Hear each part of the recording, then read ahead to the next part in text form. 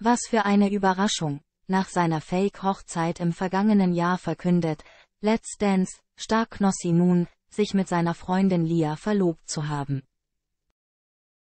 Im vergangenen Jahr feierte Knossi kurz nach Ende seiner Let's Dance Reise in Las Vegas Hochzeit mit seiner Freundin Lia Mitru.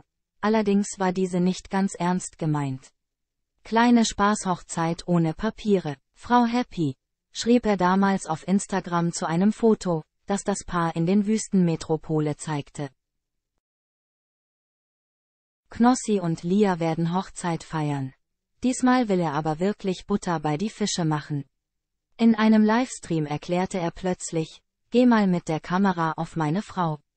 Geh genau drauf, geh auf die Hand, es ist der Moment gekommen. Wenig später bekamen die Zuschauer Lia zu sehen, mit einem Ring am Finger. Sie hat ja gesagt, verriet Knossi glücklich.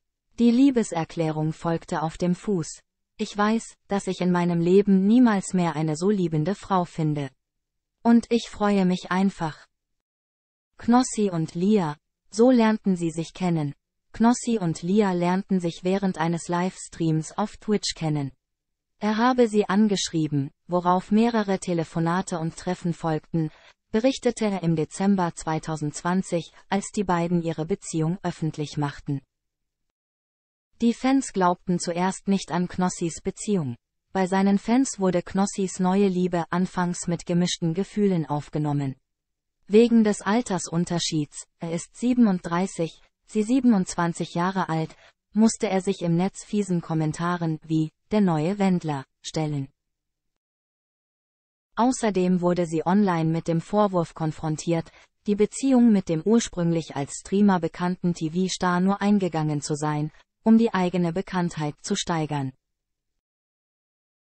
Während Let's Dance konnten sich Millionen TV-Zuschauer immer wieder davon überzeugen, wie gern sich die beiden haben. Bereits während seiner Teilnahme an der Tanzshow war immer wieder über einen Antrag gemutmaßt worden worden. In einem Livestream wollte ein User 2023 von Lia wissen, ob das Paar vorhabe, zu heiraten. Ja, antwortete Knossi für sie. Ohne Ehevertrag, weil du reiche Eltern hast, wie er lachend ergänzte.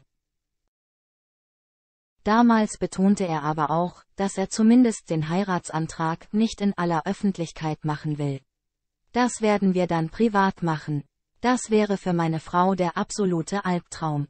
Ich finde, eine Hochzeit ist etwas ganz Persönliches. Das würde meine Freundin nicht schön finden, so Knossi 2023. Und weiter, das ist ein intimer Moment, da muss die Öffentlichkeit nicht dran teilhaben.